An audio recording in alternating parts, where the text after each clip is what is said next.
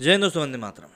मैंने कभी नहीं सोचा था कि रामनवमी, हनुमान जयंती जैसे त्योहारों पर, जो कि प्रमुख हिंदू त्यौहार हैं, ऐसे त्यौहारों के ऊपर देश में कभी धारा 144 लगेगी। लेकिन हाँ देश में धारा 144 ऐसे ही त्यौहारों के ऊपर लग रही है। वाकई में ये चीज़ सोचना, समझना मतलब विश्वास करने लायक नहीं है, लेकिन वाकई में ऐसा हो रहा है।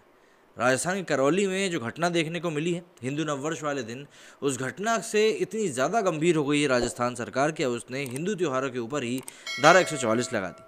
धारा एक वो होती है जहाँ पे लोग समूह में इकट्ठा नहीं हो सकते हैं। ज़ाहिर सी बात है, आप खुद समझ सकते हैं कि इस समय राजस्थान की गहलोत सरकार जो है, वो किस मानसिकता से निकलने की कोशिश कर रही है।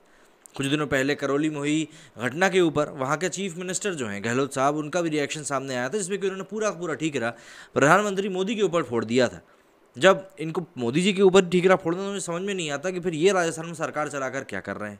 खैर, ठीक है। क्या होता है कि इंसानों को समझना चाहिए कि एक समय होता है, हर चीज़ का जब वो बीत जाता है तो फिर उसके कहने ना कहने का कोई औचित्य नहीं रह जाता। जो समझते हैं कि अब रामनवमी और हनुमान जयंती के ऊपर क्या कुछ करने जा रही है राजस्थान सरकार।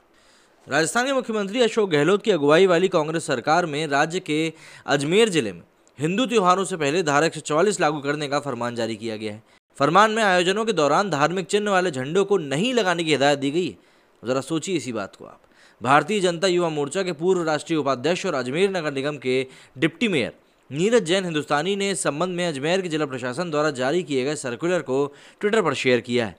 उन्होंने कांग्रेस शासन की तुलना मुगल राज से करी है। नीरज जैन ने ट्वीट करके लिखा, कोटा, बीकानेर, जोधपुर और अब अजमेर सहित अन्य शहरों में गहलोत साहब का नादरशाही फरमान। किसी धार्मिक चिन्ह के झंडे लगाना, डीजे बजाना अपराध है।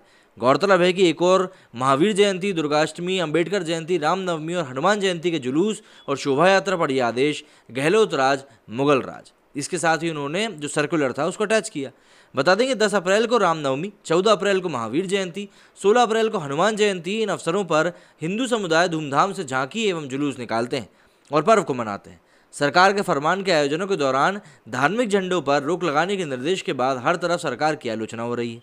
अजमेर प्रशासन द्वारा जारी किए गए सर्कुलर में कहा गया है कि अजमेर के पुलिस अधीक्षक द्वारा यह अवगत कराया गया है कि अजमेर ज़िले में आयोजित होने वाले धार्मिक प्रायोजनों के दौरान धार्मिक प्रतीक चिन्ह युक्त झंडियाँ, सार्वजनिक संपत्ति जैसे कि सामुदायिक भवन, विश्राम गृह, सार्वजनिक पार्क, चौराहे, तिराहे, बिजली टेलीफोन के खंभे आदि अथवा किसी अन्य व्यक्ति की संपत्ति पर बना सक्षम स्वीकृति के लगाकर व्यक्ति या व्यक्तियों के समूह द्वारा कानून व्यवस्था की स्थिति को प्रभावित कर सांप्रदायिक सद्भाव को बिगाड़ने का प्रयास किया जाता है, जिससे लोग शांति भंग होने और कानून व्यवस्था तथा सामाजिक सद्भाव प्रतिकूल रूप से बाधित होने की आशंका उत्पन्न हो सकती है।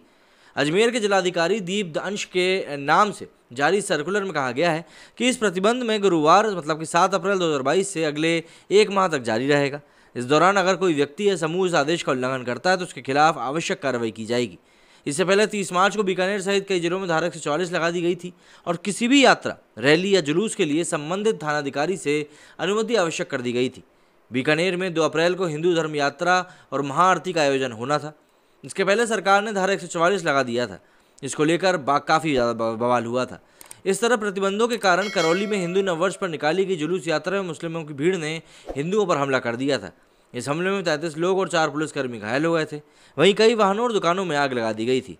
अब गहलोत सरकार से जब वो एक घटना नहीं संभल सकी तो उन्होंने इस तरह से एक्शन उठाया है कि भाई अब इस तरीके से इनको कर्व किया जाएगा।